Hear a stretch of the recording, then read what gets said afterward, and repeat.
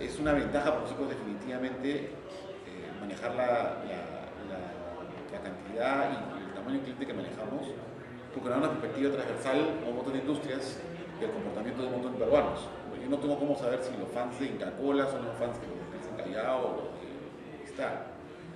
Pero lo que sí me dice un poco es cuál es su comportamiento con respecto a ciertas marcas, a ciertas industrias.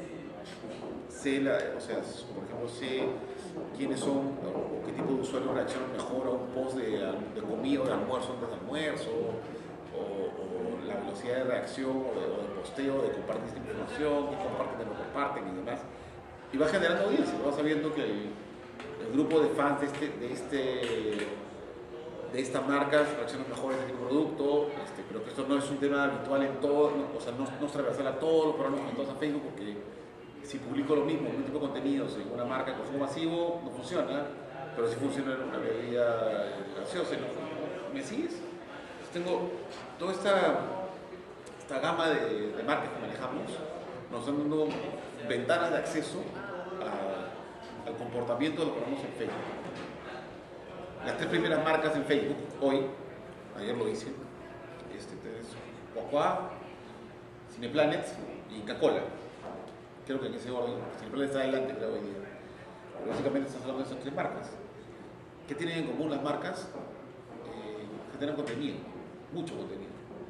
Tienes un Inca Cola que se especializa más en un contenido de tipo creativo y, y propio, donde no regala nada, pero a la vez este, te pone mucho entretenimiento encima de la mesa. ¿no? O sea, no sé, el otro día vi a Inca Cola jugando con sus usuarios, ¿no? Este, que, nombre, nombres con A. Entonces la gente pone empezar a escribir nombres con A, 400 personas escribiendo nombres uno tras del otro. Y, lo, y interacción. Este, tienes un cuacuá que ha construido una estrategia basada en contenidos en video, genera un personaje alrededor del, pato, y sobre el pato está básicamente, este, ha hecho creo que 30 videos o 20 videos, los videos este, están en internet, son muy, sin ser tan agresivos, son estilo Pio, Pio Chicken, ¿no? O sea, no, llega al golpe, pero el, el, personaje del pato es un personaje que es, este, de alguna manera, parte, parte cotidiana, ¿no? lo que el Pío Chicken hacía. ¿no? Eh, y el tercero es Cineplanet, que se especializa en promociones, básicamente. Tiene el producto, tiene sus salas, este, y claro, regalas una entrada y vas con alguien más. Entonces, entrada regalada implica alguien más que va contigo. ¿sí? Y, y viéndolo por arribita, ustedes lo que están haciendo en el fondo es generar mucho contenido. ¿no? La gente se hace fan de Cineplanet para estar al tanto de las promociones que Cineplanet entrega. Se hace fan de Coca para compartir los contenidos que Coca genera y su fan de Coca-Cola para poder, por lo mismo, para poder básicamente tener los contenidos e interactuar con ellos. Entonces, me queda claro que viene un, una segunda etapa, como bien dice, que es, primera etapa, entro a Facebook y intento agrupar a mi público. Y una vez que lo tengo y lo tengo ahí, ¿qué hago con él?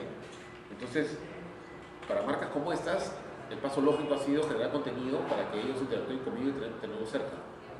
Para otras marcas puede ser derivarlos de su página web con contenidos relevantes. Este, depende mucho de cada marca y cada estrategia va a tener, pero digamos, es, es el, paso 2 de la estrategia que no resulta tan fácil, ¿no? Este, tenemos, así como tenemos marcas como Coca-Cola que hoy día navegan en internet de manera sencilla, eh, sencilla, más que sencilla encontrar su rumbo, digamos, hay, una fórmula que funciona, hay otras que no, y que está costando mucho más encontrar qué es eso que hace, digamos, este, lo que los gringos llaman make, you tick, ¿no? O sea, con qué hago que reaccione esta audiencia y que se, se encuentre mayor empatía conmigo y, logre, mayor relevancia.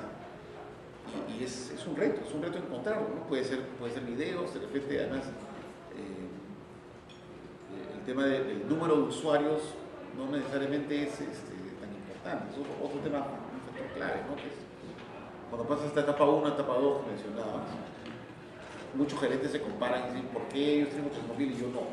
Yo también tengo que tener 800 mil. Salgamos a buscar más. No necesariamente, o sea, no necesariamente tu producto es un producto de 800 mil fans en Facebook, ¿no? Es un producto de repente de 100 mil, 150 mil, 200 mil. Y ese número debe sentirte contento y, y, y, y, y trabajarlo porque de repente ese es el tamaño de audiencia correcto para ti. En las marcas de servicio, por ejemplo, se ha convertido mucho en un canal de soporte, ¿no? Oye, mi factura me ha llegado mal, no, funciona mi, servicio, se ha caído, etc. Eso pasa, lo, ves, lo ves muchas en, las compañías de, telco, ¿no? O sea, está claro, en sus páginas en, Facebook son mucho, eh, son de quejas. Y tienes que tener, o sea, dado que el usuario está en Facebook, tú no puedes ignorarlo, o sea, el usuario está en Facebook, te está hablando, tú tienes que hablarle de vuelta. Tienes que encontrar una fórmula para que tu área de servicio al cliente lo pueda atender mediante este canal, sea de una forma o de otra, pero tienes que poder hacer esa necesidad. El usuario te va a buscar los espacios en que él está como cuando las universidades hacían clases en Second Life, o sea, en su momento, no lo hacían porque Second Life era bacán, lo hacían porque los usuarios estaban en Second Life y, era, una forma de poder llegar a la persona, ¿no? Esto es lo mismo.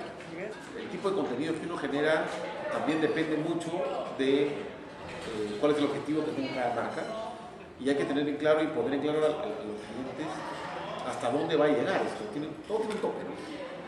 y siento que a veces pedirle Facebook que reemplace canales masivos no necesariamente es un rol. Para algunas marcas sí, para otras marcas no.